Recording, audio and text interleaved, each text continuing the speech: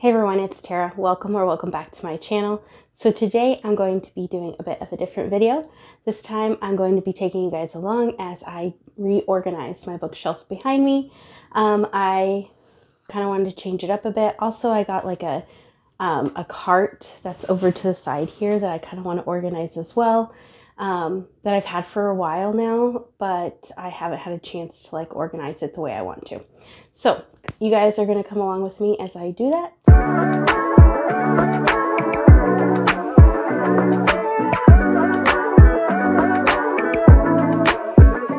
So I was going to show you like a before. So there's the very top of my shelf has come kind of my favorite books or like really pretty ones with really pretty covers.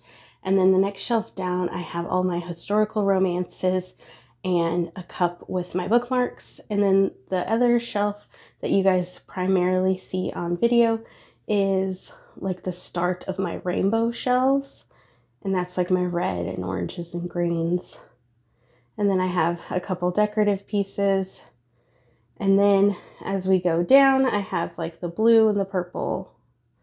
And then um, House in the Cerulean Sea is out front because I love that book. And then as we go further down, as you can see, I have double stack shelves. These are mainly like my book of the month hardcovers and then just stuff that I've kind of just shoved in there as I got it. And then if you see over here, this is kind of my cart. And it doesn't really have any rhyme or reason except for the top shelf does have like what I'm currently reading for that month or what I've already read for like my um, booktube wrap ups. And then you can see there's my bags and I have a little thing in the corner right here. It's like a um, basket and that basket is just books that are leaving my shelves. And I did leave, uh, do a little short and I'll link that in the cards below.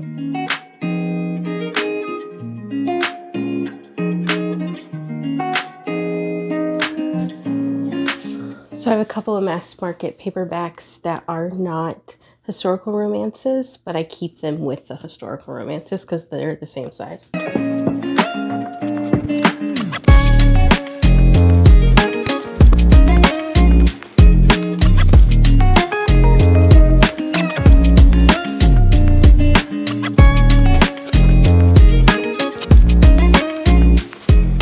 Ugh. All these books I've wanted to read. Get it together.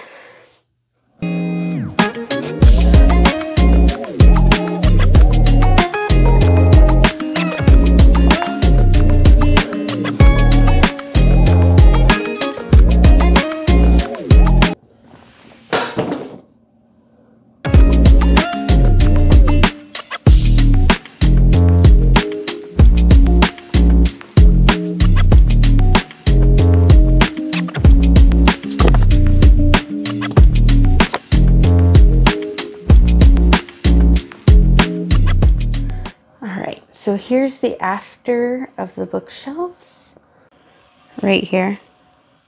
Those are still my historical romances.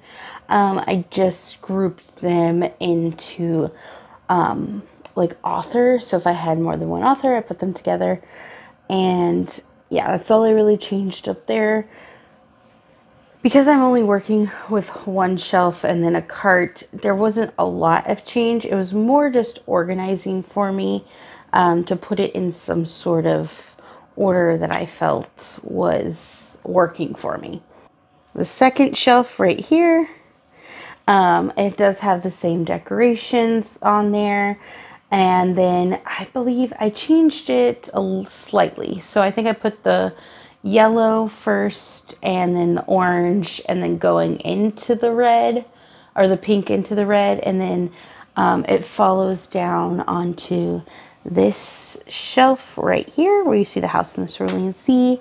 And that one just goes a little bit into like purple and then green and then blue. So it's kind of just like a, a rainbow. I just kind of reversed the rainbow that I had like um, in the beginning. If you can see those shelves right here are still double stacked. I just organized them. Um, so in the back, I have the shorter hardcovers and then just a few of um, like paperbacks put together, and they're all like kind of the darker, like the dark blues, the dark purples, the blacks, the uh, grays, those colors, because they didn't obviously fit into the rainbow, trying to make up at the top. And then if you see down here, I'm going to show you right there. Um, that is still double stacked, but I did the book of the months in order of um, when I got them. So like, I have the rest of the few. I only have a few hard covers that are non-book of the month.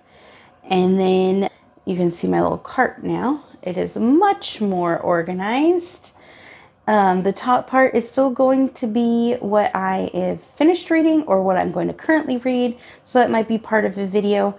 The second shelf now is part of like my 52 book club or any sort of reading challenge that I'm a part of.